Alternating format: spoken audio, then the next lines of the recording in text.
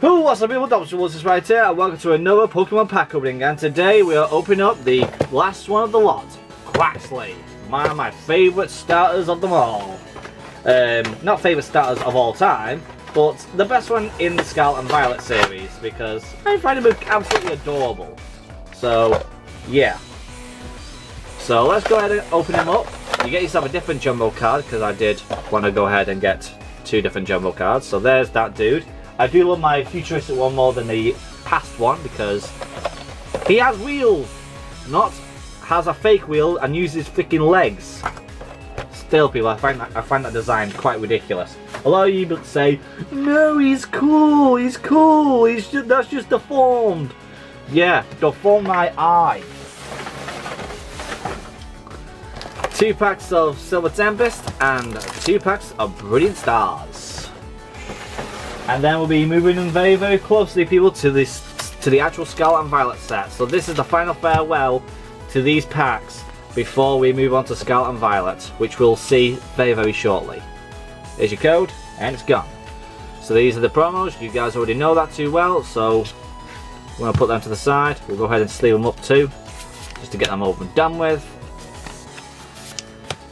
Because we are not putting the price up for these, because you get these, you're guaranteed to getting these all the time, so there you go. First up, Brilliant Stars. Let's go with these first.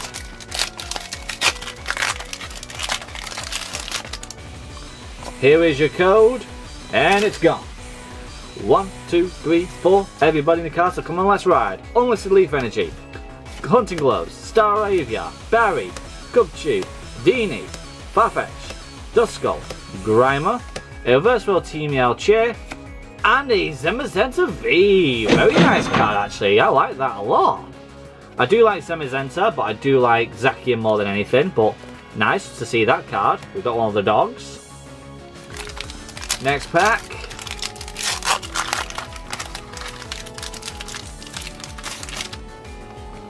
Here is your code, and it's gone. One, two, three, four. Let's have a look.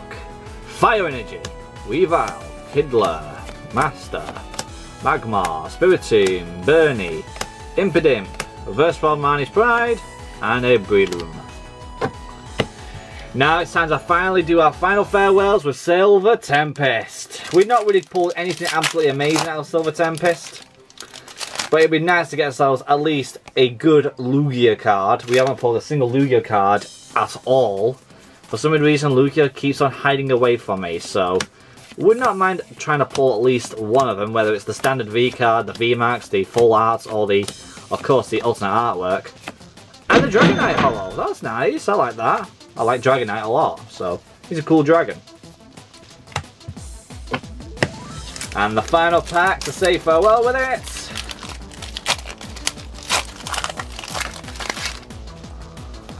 Here's your code, and it's gone. One, two, three, four. Let's have a look.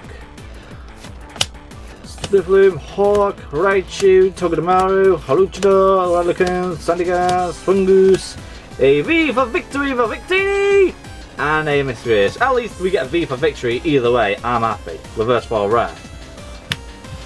Woo!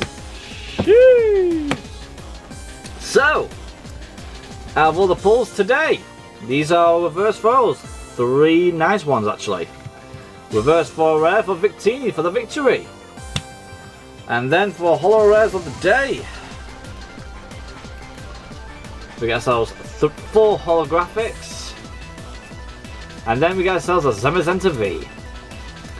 If you guys enjoyed it, I sure did. This is a nice little send-off to Pokemon's Sword and Shield. Moving on to Scarlet and Violet. A very, very good series. A lot, a lot of people don't like it. Some people do. I find it okay.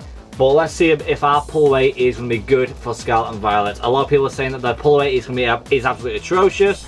It's very hard to pull from. So let's see if my God hands change it all. With that being said, the people I'm Luke will see you guys subscribing. And I'll see you guys next time. Cheerio! A nice little send off to Sword and Shield. But at least I did do a very good send-off when I finally pulled Charizard one last time. Oh yeah, baby. Oh yeah. I like getting these. These are nice. I don't have a clue what the values are, but I'm sure they'll pop up right now. Ah!